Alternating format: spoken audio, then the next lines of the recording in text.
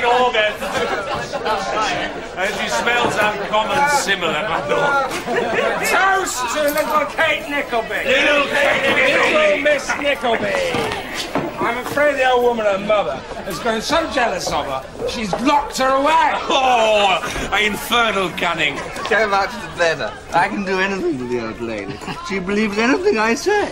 Unlike her uncle. Still, at least the old man introduces to her. Miss Kate Nickleby. Kate Nickleby. I'd like a word with you, sir. A mysterious stranger upon myself. Will you step aside? Name your business or leave the table. Your name and address, sir. I shall give you neither. I am the brother of the young lady who has been the subject of your derision. If you have a friend at this table who is a gentleman, then he will spare your disgrace and give me your name.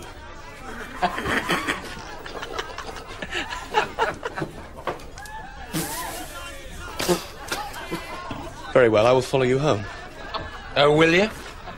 Yes. Good Lord. Well, what is that? Uh, a friend. He's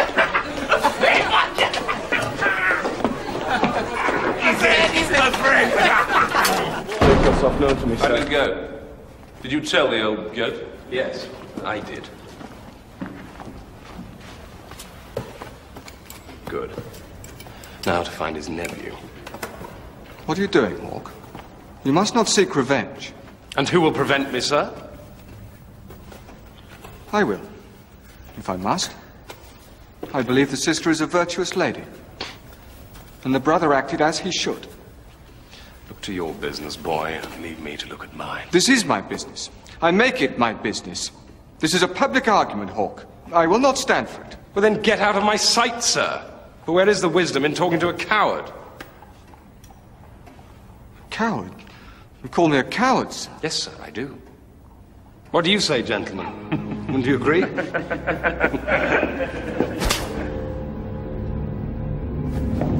Steady. See you, Mulberry. He goes, sirs.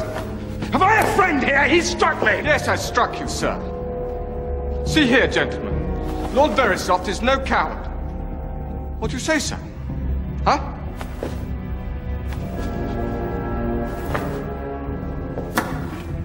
I say, let this quarrel be ended.